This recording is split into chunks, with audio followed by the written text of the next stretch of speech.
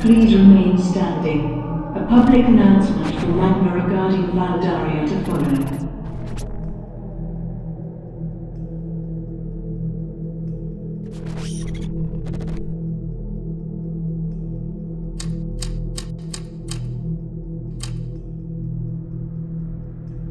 By order of Magma.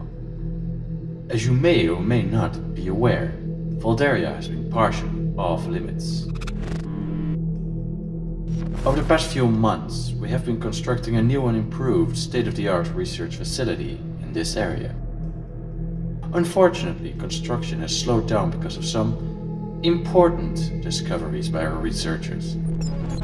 It is our duty at Magma to make sure this anomaly gets taken care of as soon as possible.